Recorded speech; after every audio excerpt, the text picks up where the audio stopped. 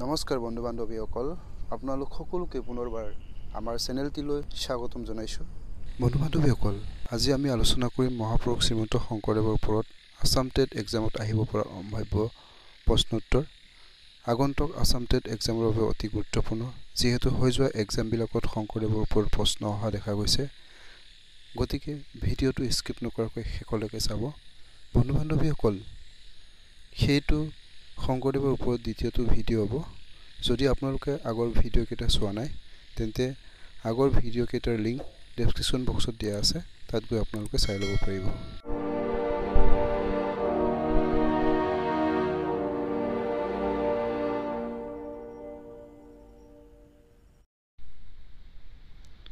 বন্ধু বান্ধৱীসকল প্ৰথম প্ৰশ্নটো হৈছে মহাপুৰুষ শংকৰদেৱৰ জন্ম হৈছিল অপশ্যন দিয়া আছে ক চৈধ্যশ ঊনষাঠি চনত খ চৈধ্যশ ঊনপঞ্চাছ চনত গ চৈধ্যশ ঊনসত্তৰ চনত ঘ চৈধ্যশ ঊনচল্লিছ চনত।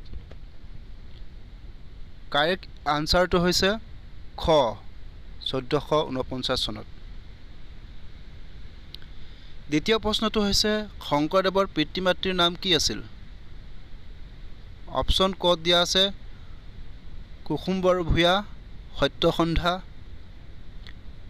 খ শিৰোমণি যোগমায়া গ অপশ্যনত দিয়া আছে শিৰোমণি সত্যভমা ঘ ওপৰৰ এটাও নহয়।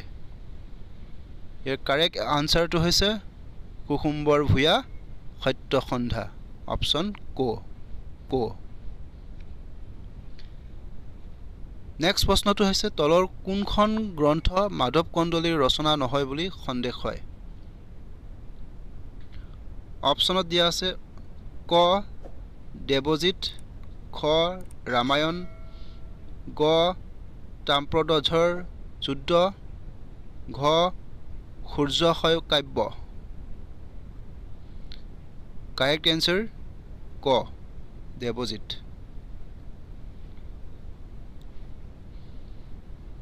নেক্সট প্ৰশ্ন শংকৰদেৱে কছাৰী উপদ্ৰৱ সহিব নোৱাৰি প্ৰথমে ক'ত আশ্ৰয় লয়? অপশ্যন ক'ত দিয়া আছে? বেলগুৰিত খ গাংমুঠ গ পাটবাউসীত ঘ মধুপুৰ। কাৰেক্ট এনচাৰ হৈছে খ গাংমুঠ।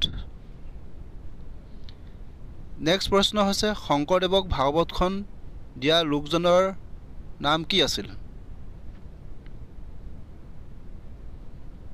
অপশ্যনত দিয়া আছে ক জগদীশ মিশ্ৰ খ মাধৱদেৱ গ ৰামচৰণ ঠাকুৰ ঘ ৰাম মিশ্ৰ।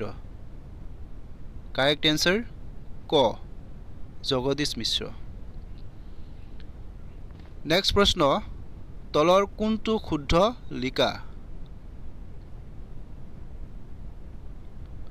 অপশ্যন ক অসমীয়া জাতিলৈ শংকৰদেৱৰ অৱদান নগণ্য।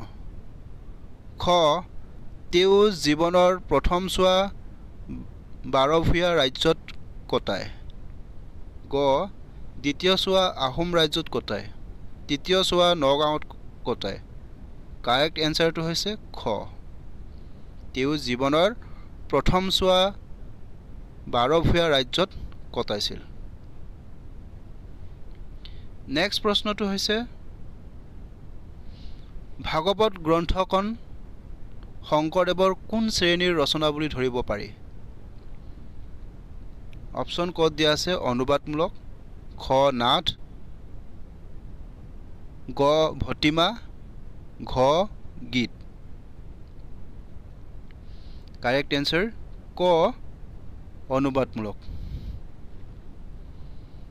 নেক্সট প্ৰশ্ন তলৰ বাক্যকেইটাৰ কোনটো শুদ্ধ কত দিয়া আছে অপশ্যন কত দিয়া আছে শংকৰদেৱৰ অসমীয়া নাট্য সাহিত্যৰ জন্মদাতা খ ওজাপালিৰ প্ৰভাৱেৰে তেওঁ বৰগীত ৰচনা কৰে গ শংকৰদেৱৰ প্ৰথম নাট কালীগোপাল। ঘ শংকৰদেৱৰ নাটক প্ৰসন্ন বোলে।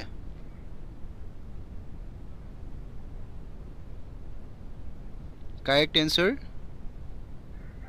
ক শংকৰদেৱ অসমীয়া নাট্য সাহিত্যৰ জন্মদাতা। নেক্সট প্ৰশ্ন ভাগৱতৰ একেবাৰে চমু সংস্কৰণ গ্ৰন্থখন কি? অপশ্যন ক ভক্তি ৰত্নাকৰ খ গুণমালা গ অনাদি পাতন ভক্তিৰ প্ৰদীপ কাৰেক্ট এনচাৰ খ গুণমালা।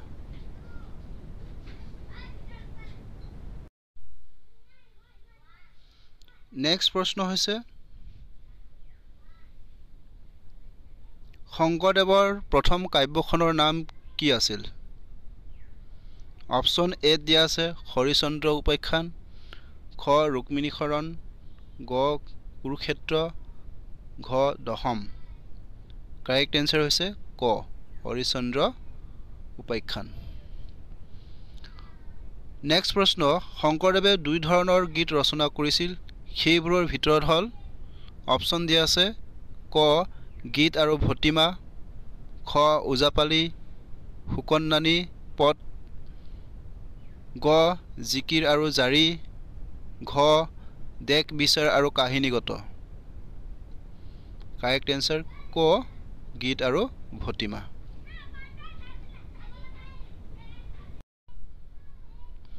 নেক্সট প্ৰশ্নটো হৈছে শংকৰদেৱৰ ভক্তি তত্ত্বমূলক গ্ৰন্থ কোনখন? ক ভক্তিৰ প্ৰদীপ খ কুৰুক্ষেত্ৰ গ অনাদিপাতন ঘ পত্নীপ্ৰসাদ কাৰেক্ট এনচাৰ ক। ভক্তিৰ প্ৰদীপ। নেক্সট প্ৰশ্নটো হৈছে গুণমালা কাব্য কি চন্দত ৰচা হৈছিল? ক কুসুমমালা খ ছফয় গ ছবি ঘ দুলৰি। কাৰেক্ট এনচাৰ হৈছে? ক। কুসুমমালা। নেক্সট প্ৰশ্ন হৈছে কীৰ্তনৰ ৰচক কোন? অপশ্যন দিয়া আছে ক মহাপুৰুষ মাধৱদেৱ খ ভট্টদেৱ গ মহাপুৰুষ শংকৰদেৱ ঘ শ্ৰীধৰ কণ্ডলী কাৰেক্ট এনচাৰ হৈছে মহাপুৰুষ শংকৰদেৱ। নেক্সট প্ৰশ্নটো হৈছে শংকৰদেৱে প্ৰচাৰ কৰা ধৰ্মটোৰ নাম কি আছিল? অপশ্যন দিয়া আছে ক শাক্ত ধৰ্ম খ একশৰণ নাম ধৰ্ম গ ৰাতি খোৱা সম্প্ৰদায় ঘ শৈৱ ধৰ্ম। কাৰেক্ট এনচাৰ হ'ব একশৰণ নাম ধৰ্ম। নেক্সট প্ৰশ্নটো হৈছে বাৰ বছৰ বয়সত শংকৰদেৱক কাৰ টোলত পঢ়িবলৈ পঠিওৱা হৈছিল? অপশ্যনত দিয়া আছে ক অনন্ত কণ্ডলী খ ব্ৰজেন কণ্ডলী গ মহেন্দ্ৰ কণ্ডলী ঘ নৰেন্দ্ৰ কণ্ডলী কাৰেক্ট এনচাৰ হৈছে গ মহেন্দ্ৰ কণ্ডলী নেক্সট প্ৰশ্নটো হৈছে শংকৰদেৱৰ প্ৰথমা পত্নীৰ নাম কি আছিল? অপশ্যনত দিয়া আছে ক কালিন্দী আই খ সূৰ্যৱতী গ প্ৰিয়ম প্ৰিয়বন্দা ঘ নাৰায়ণী। কাৰেক্ট এনচাৰ হৈছে সূৰ্যৱতী।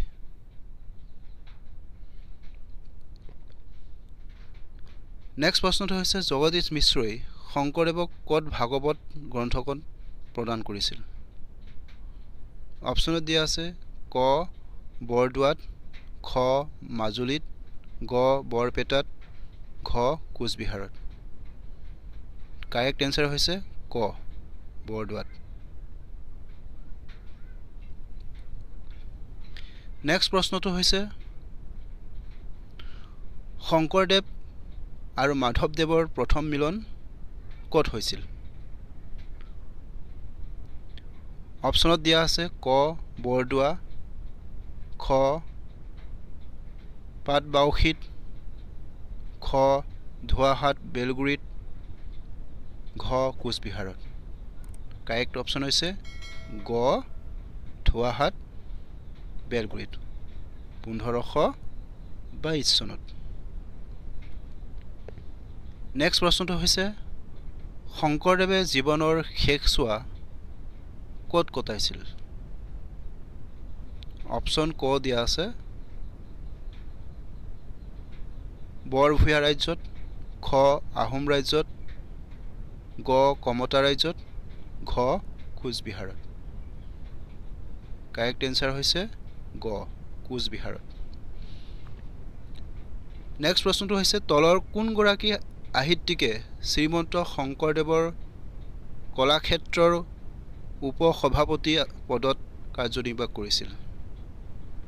অপশ্যনত দিয়া আছে ক ডক্টৰ নিৰ্মল প্ৰভা বৰদলৈ খ খেম বৰুৱা গ ডক্টৰ ভৱেন্দ্ৰনাথ শইকীয়া ঘ doctor Lakshminandan Bora. Correct answer হৈছে গ ডক্টৰ ভৱেন্দ্ৰনাথ শইকীয়া। নেক্সট প্ৰশ্নটো হৈছে ভক্তি ৰত্নৱালী নামৰ সংস্কৃত গ্ৰন্থখন শংকৰদেৱক কোনে আনি দিছিল? অপশ্যন দিয়া আছে ভাস্কৰ আচাৰ্যই খ দিয়া আছে কণ্ঠভূষণে গ দি আছে ঠাকুৰ আটাই ঘ দি আছে মাধৱদেৱ। কাৰেক্ট এনচাৰ খ কণ্ঠভূষণে। নেক্সট প্ৰশ্নটো হৈছে শংকৰদেৱৰ বুঢ়ীমাকৰ নাম আছিল। অপশ্যন দিয়া আছে ক অনসূয়া খ খেৰসূতী গ মহাধৃতি ঘ ৰাধিকা শান্তি। কাৰেক্ট এনচাৰ হৈছে খ খেৰসূতী নেক্সট প্ৰশ্নটো হৈছে শংকৰদেৱৰ প্ৰথম সংলাপহীন নাট কি আছিল? অপশ্যন দিয়া আছে কালিয়া দমন খ চিকনযাত্ৰা গ কেলিগোপাল ঘ মালতী মাধৱ কাৰেক্ট এনচাৰ হৈছে খ চিকনযাত্ৰা। নেক্সট প্ৰশ্নটো হৈছে শংকৰদেৱৰ জোৱায়েকৰ নাম কি আছিল? অপশ্যন দিয়া আছে ক ৰামদাস খ সতানন্দ গ হৰি ভূঞা ঘ ৰামানন্দ। কাৰেক্ট এনচাৰ হৈছে গ হৰি ভূঞা পিছৰ প্ৰশ্নটো হৈছে শংকৰদেৱৰ মৃত্যু কেতিয়া হৈছিল? অপশ্যন ক পোন্ধৰশ আঠসত্তৰ খ্ৰীষ্টাব্দত খ পোন্ধৰশ আঠষষ্ঠি খ্ৰীষ্টাব্দত গ পোন্ধৰশ আঠাৱন্ন খ্ৰীষ্টাব্দত ঘ পোন্ধৰশ ঊনাশী খ্ৰীষ্টাব্দত। কাৰেক্ট এনচাৰ হৈছে পোন্ধৰশ আঠষষ্ঠি খ্ৰীষ্টাব্দত। নেক্সট প্ৰশ্নটো হৈছে শংকৰদেৱে তেওঁৰ পূৰ্বৰ কোন কবিক অপ্ৰমাদী আখ্যা দিছিল? অপশ্যনত দিয়া আছে ক অৰিবৰ বিপ্ৰক খ হেম সৰস্বতীক গ ৰুদ্ৰকণ্ডলীক ঘ মাধৱ কণ্ডলীক। কাৰেক্ট এনচাৰ হৈছে ঘ মাধৱ কণ্ডলীক।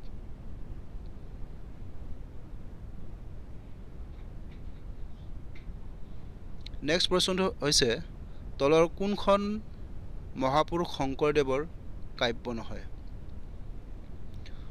অপশ্যন ক দিয়া আছে হৰিচন্দ্ৰ উপাখ্যান খ ৰুক্মিণী হৰণ গ ৰাজখুই ঘ কুৰুক্ষেত্ৰ। কাৰেক্ট এনচাৰটো হৈছে গ। ৰাজসূৰ্য। হৰিচন্দ্ৰ উপাখ্যান ৰুক্মিণী হৰণ কুৰুক্ষেত্ৰ হৰ শংকৰদেৱৰ কাব্য। নেক্সট প্ৰশ্নটো হৈছে মহাপুৰুষ শংকৰদেৱৰ ৰচিত কাব্যৰ সংখ্যা কিমান? অপশ্যন ক দিয়া আছে পাঁচখন খ ছখন গ সাতখন ঘ আঠখন। কাৰেক্ট এনচাৰ হৈছে? খ ছখন। শেষৰ প্ৰশ্নটো হৈছে মহাপুৰুষ শংকৰদেৱ ৰচিত তলৰ কোনখন গ্ৰন্থ মূলতঃ ভক্তিতত্ত্বমূলক গ্ৰন্থ নহয়?